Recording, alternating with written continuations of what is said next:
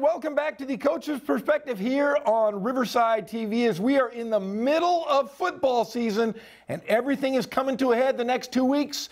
And we're going to bring on the man, the, the, the human computer, and my host in the booth, the great Ghazal Hassan. How are you doing today, Ghazal? I missed you on Friday. We had a thriller, but I missed you. It was a great game, luckily, so we didn't have to think about it enough. But happy to have you back, Jeff. Hey, well, it's great to be back. You know, you and I called a, I don't know if it was a great game, but we called a game Saturday as we saw RCC. Let's talk about them first off. 65 to nothing. Is that what that score was? 63. And I haven't cut the video yet, but I'm going to cut the video of Tom Craft. And then I'm going to ask the people on social media, what do you think the score was in the game? And I, I don't think anybody would guess that they would have thought the way the coach was talking that his team had just won 63 to nothing. But to be fair to Coach Craft, that's why he's successful the way he is because he does not accept anything less than a top effort. Well, I'll tell you what, they gave the top effort defensively, putting up a donut, uh, I think for the first time this year, against a team that was, you know, coming in, it didn't win any games, but still had scored some points, and the, and the Tigers really took care of business on the defensive side of the ball first shutout since the semifinal in 2019, November 23rd. They shut out Mount Sac 48 nothing en route to a national championship. And yeah, I mean Grossmont just seemed kind of overmassed. It seemed like they were just trying to tread water till the end of the game. That's what it seemed like they were doing. And I don't know, you know, unfortunately, we didn't really get a chance to talk to Coach Jordan for whatever reason. They, they didn't, you know, I multiple emails and calls, they didn't return them. So I did not know. I mean, do they have guys hurt? You know, they're because they're coming out of the bye week as well. So I, I wasn't sure what the problem was there, but um, maybe it was just that RCC is very good, Jeff. Maybe just RCC is very good. The defense, which had been maligned for a couple of weeks, gave up 40 points to Long Beach, 44 points to Palomar. They were not maligned. They were out. They were vicious. They were hitting. They got the shutout, even though the starters probably, correct me if I'm wrong, most of the starters were out of the game by the middle of the third quarter. Yeah, it was just, I mean, it was one of those games that I think everything kind of clicked for the Tigers, and, you know, they got some tough ones coming up. But before we get to, let's, before we finish talking about RCC, let's talk about the two games we have on tap this week on Riverside TV. First, we have Hillcrest versus La Sierra, which should be a, a game. You don't know what you're going to get from La Sierra. They've been so Jekyll and Hyde, but Hillcrest has assured themselves a playoff berth in the River Valley League. This could uh, be very important for either La Sierra or Hillcrest. Well, no, Hillcrest still has to win, remember. Now, the, the, advantage that we talked about on Friday that Hillcrest has is they've already played Novi. They already had that loss to Novi, and that a couple of teams they're up against potentially for a berth, which would be Patriot and Ramona, still have to play Norte Vista. So the advantage, obviously, over Patriot now is they hold the tiebreaker over Patriot. Um, and they've also already beaten Ramona, and they've already uh, beat. I think they got to play Arlington. So that Arlington game at the end of the year could be big for them. But they already have wins over Ramona and over Patriot, which are big, and they need to, they need to win though against La Sierra because if La Sierra can somehow beat them, and we did see that Patriot had some success throwing the football against Hillcrest, so La Sierra should be able to throw the football against Hillcrest. It could be like that crazy 2017 when we had five teams at three and two. Probably won't happen because Novi, I think, will win their fourth game this week. But if Patriot can beat Novi, then all of a sudden everything's on the table. Yeah, I mean that's it is a different uh, different league to say the least. And then our second game, which you and I will be on the call for, it'll be John W. North versus Elsinore, and this is a playoff game. Whoever wins this has a great shot to go to the playoffs. Like I told the great Pep Fernandez on Friday, Jeff, we are but weathermen, and our precipitation is the playoff football. And this, yeah, in essence, is a playoff game. Uh, big game for North because if North can win this one, they would have the tiebreaker over Elsinore, which would play big. They've already beaten Temescal Canyon, so that would be really, really big. I mean, we know how good uh, in the Ivy League. We know it's really going to be either uh, Rancho Verde or, or, Orange Vista at one two. But that third place situation, North really needs to get the win here and this one. And Elsinore too. Elsinore they kind of got out of the chute pretty quick. Came back to the pack a little bit. Here's an opportunity uh, for their first year head coach to have have get the uh, get the Tigers going. And if they can somehow get on the road and beat North, then all of a sudden they're in the driver's seat now. But yeah, you, you mentioned it. Heavy playoff implications in week nine. This, in essence, is a playoff game. Yes, I agree there. And before I let you go, we have to talk about these rankings of placement of teams. Everybody is talking about the projections. I have coaches calling me, you know, this morning, "Hey, where do you see me? Where do you see this team? Where do you see this?" And I said, "Hey, let me consult with my guy, the guru, the human computer, uh, Ghazal Hassan. Ghazal, tell us about some of these teams that are in Riverside and their projections right now and where they could be uh, based on some of these leaks." Well, first of all, it's not my it's it's Cal Preps, right? So I'm just using the Cal Preps rankings and I'm going through the formula and I'm not on the committee. So there are a couple things obviously the committee can tweak that I won't know. So I'm more or less going purely on numbers, but a couple things to so I know what you're asking about is Norte Vista, right? So if you watch and you can go get them at uh, the broadcaster's tale at Substack. All my projections are on there. So I like to call them projections and not predictions because I'm just projecting based on what Cal Preps has put out. Okay, that's all I'm projecting. So I know we were talking about uh, Vista. I have Norte Vista right now as the 15 seed in Division Four. Okay. I have, and we discussed this yesterday. I have a feeling when all is said and done, Novi will be either in the middle of Division Five or maybe at the top of Division Six. So part of what the caveat here is is remember there are those 14 pod leagues like your buddy billy cardosi's kaiser cats they're in a 14 pod okay so in, in week eight all those leagues have only played one league game right so basically it's real easy for me i go in and the teams that won in week one they're my automatic qualifiers now that that could get turned upside down a little bit um, in terms of as we go forward, right? Like for example, Poly, for example, Poly is in a three-team pod right now. I believe I have them as the number eight or nine seed in Division 12 because they're one and zero oh in their pod. Okay, but if they end up going one and two and they're not an automatic qualifier, I don't know what their chances are in terms of being an at-large team. You know, uh, a team that it affects, for example, is Ramona. Okay, Ramona right now is not in the projection, but depending on how things go, if they end up three and two overall and five and five, and their rating goes up, particularly if they can somehow beat Norte Vista. They may be able to get it as an AQ, which means automatic qualifier, which means you finish in the top three if you're in a six to eight team league, top two if you're in a four or five team league, or top four if you, there's only I think there's only one nine league team, but there are there is one nine league team that has four automatic bids, right? Um, but so a team like Ramona could squeeze in. Could they push out a team you know, like like Patriot or like Hillcrest. You know, that it all there's so much re- really, but a lot of it depends on what the committee decides. You know, and the committee always says they'll give preference to teams that are over 500. But then we see we always see a lot of teams, the bigger the bigger leagues, right, where they're maybe under 500, but their power ranking is you know 17, 15, 12, 20, something like that. Because right now, I think Norte Vista, uh, their power, their rating their Cal Preps rating is over 20. Okay, so if you're over 20, you're in the top four division. Like that's one division one through four. Like that's where, where you're going to be at. But if you know they're going to play a couple of lower ranked teams, so they're you know if they drop down to 16, 17, then we're talking about maybe Division five or Division six. Now it's not. I mean, it's not an exact science. You know, I, I I think last year's projections I pretty much got. You know, th- there are a couple things I was off on because there are teams that the committee left out that I thought they were going to keep in. So this year I'm kind of playing it the other way. Is some of the big like I don't I don't see a, a world in which Bishop Amat's not in it at the end, but right now I think they're two and six and they've only won one league game. So I left them out of this week's projection. Norco is a perfect example. Okay, Norco hasn't won a league game yet in the in the, in the Big West, and I, I think the Big West will get four or five teams. But somebody pointed out to me, and it was fairly accurate. Hey, if Norco goes three and seven, doesn't win a league game, are they going to put them in the projection as an at-large, considering you have a bunch of other teams with at-large consideration that maybe have got some decent wins, right? And I'm not saying Norco's not going to go. Please don't misread this. But right now, if you're winless in league that probably takes it out of your hands a little bit. If they're now are three and seven, but one and four in a very good league like the Big West Upper is, then perhaps their ranking is such that the committee's like, all right, we need to squeeze them in here, you know. And the other thing is, uh, normally 13 and 14 are the two the two playoff divisions where they're all automatic qualifiers.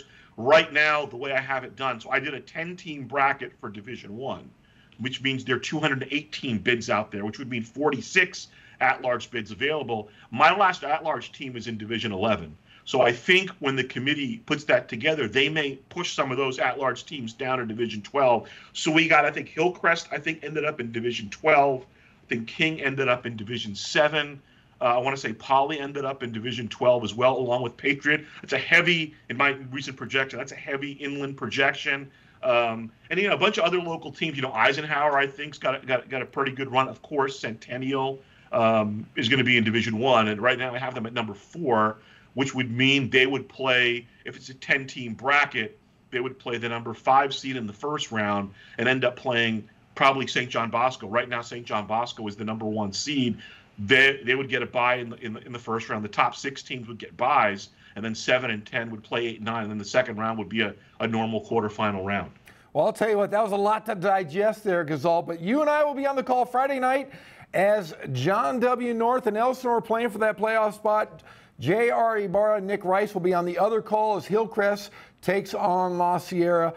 Thanks again, as always, Gazal, and uh, looking forward to seeing you Friday night. We'll see you at 3 and C, third in Chicago, the doghouse for the dogs and uh, Elsinore. It'll be fun. Well, he is Ghazal Hassan, and we will be right back with the head coach of Hillcrest and John W. North right after these messages here on the Coach's Perspective on Riverside TV.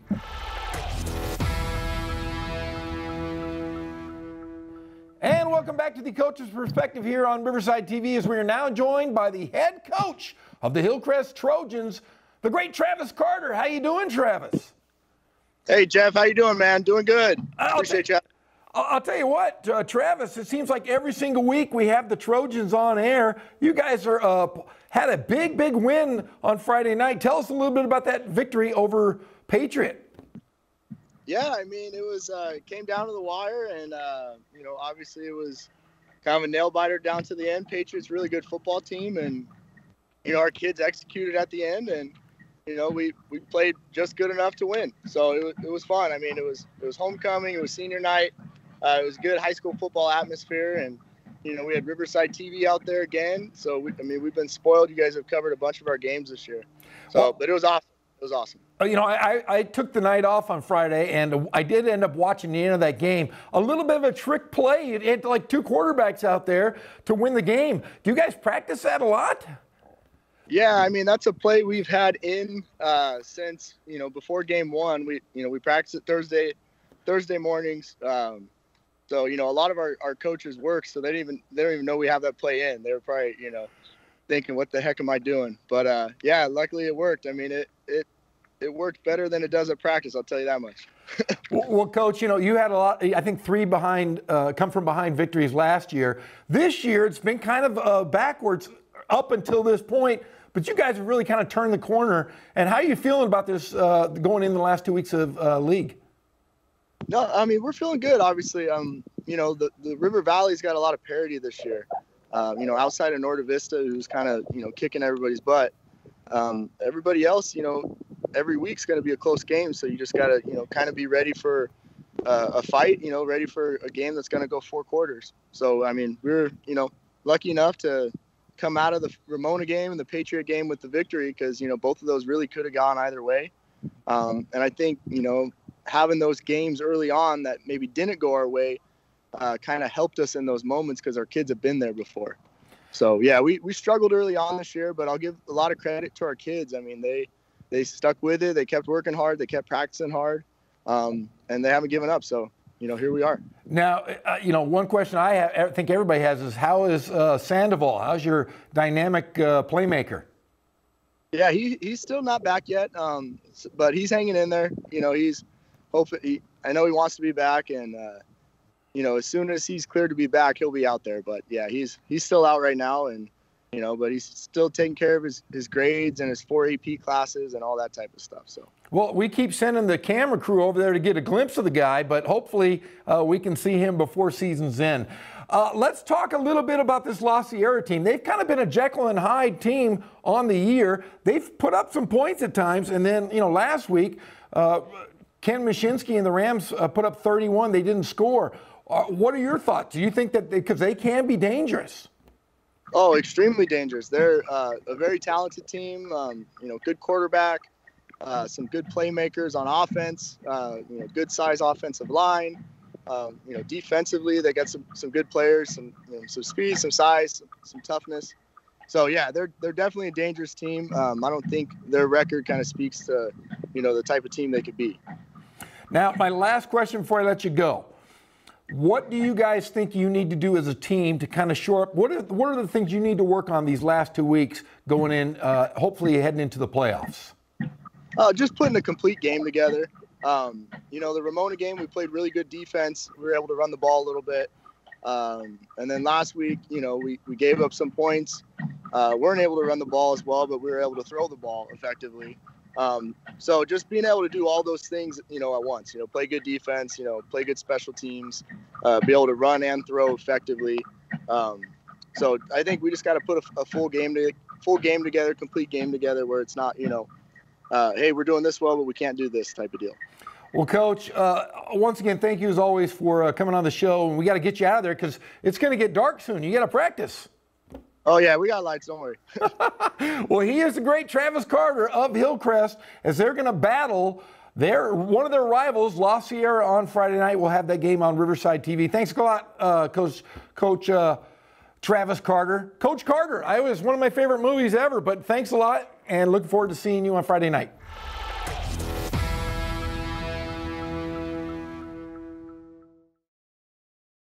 And welcome back to the Coach's Perspective here on Riverside TV as we are now joined by the great host of the Pep Rally, Pep Fernandez. How are you, Pep?